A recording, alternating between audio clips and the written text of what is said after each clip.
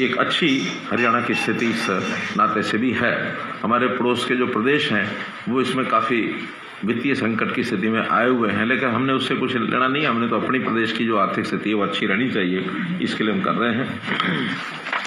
कृषि क्षेत्र में डिजिटल भुगतान की बात की गई है, इसको केंद्र और ज़रा इसको एनहांस करेगा।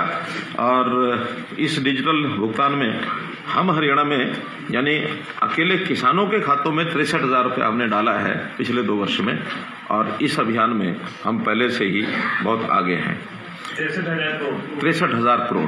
पिछले दो साल सीज़न में दो सालों में यानी चार सीज़न का जो पेमेंट है वो हमारा तिरसठ हज़ार करोड़ रुपया डीबीटी के माध्यम से किसानों के खातों में गया है। किसान किसान लगभग दस लाख के आसपास किसान परिवार होंगे जिनको ये सब गया है। आ, एक विषय आया है कि जो आ, सारे देश भर में वन डिस्ट्रिक्ट वन प्रोडक्ट ये योजना चलाई गई थी। हम उसमें और आगे बढ़ करके वन ब्लॉक, वन प्रोडक्ट ऐसा योजना बनाई है, जो इस अगले साल में उसको हम ज़रूर क्रियान्वित करने में सफल होंगे। इसके लिए बाज़ार खड़े करना और उस बाज़ार में उन उत्पादों की बिक्री ठीक से हो जाए। यूनिटी मॉल इसके खोलने की बात केंद्र सरकार ने कही है।